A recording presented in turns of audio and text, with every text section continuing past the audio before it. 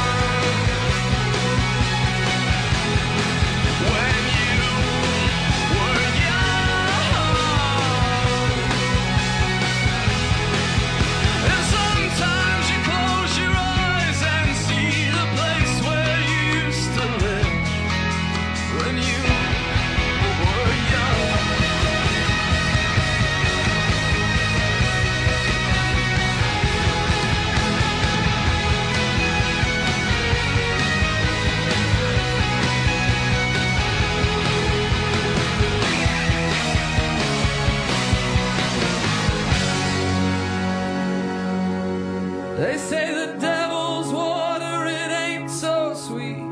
You don't have to drink right now, but you can dip your feet